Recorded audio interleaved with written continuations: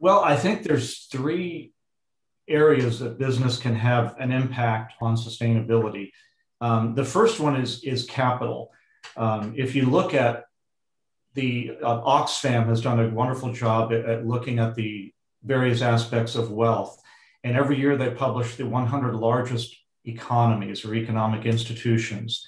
And if you look at that list today, approximately 60 of the world's largest economic institutions are multinational corporations.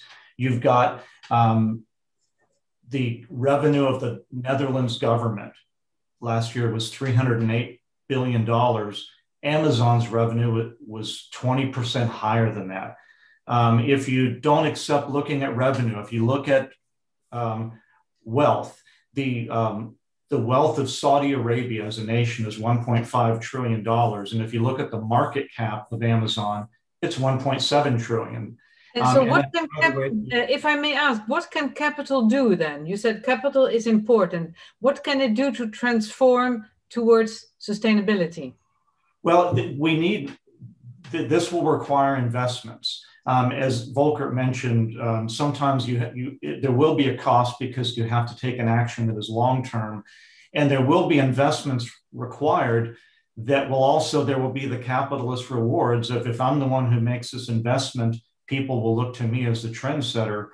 Um, because I've taken that first step and I can then reap the, the license to operate, so to speak. Um, the other two areas I wanted to quickly touch on of the role of business is um, obviously the small and medium enterprises don't have the billions and trillions of dollars but what they have is the agility and flexibility um, i work for a multinational and we, we, we would open and close operations and make changes and we could do them in maybe 90 to 120 days.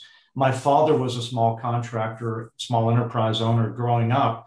And when he saw something changing that he had to respond to he did it the next day. Because he had to, because if he didn't respond, he would fail and we would not eat. So the second thing that, that I think where the SMEs come in is the agility and flexibility to see a problem and say, I can do something right now and I can respond.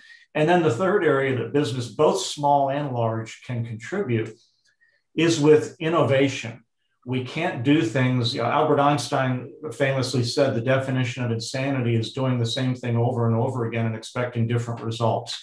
We can't do things the same way. We have to, but we don't, in some areas, we don't know what to do yet.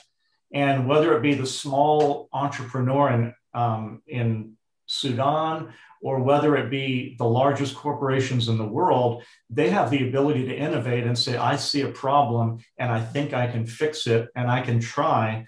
And again be the the trendsetter that uh, lead follow or step out of the way. People will look and say this is a leader and this is an innovation and they will um, flatter you by copying it and following you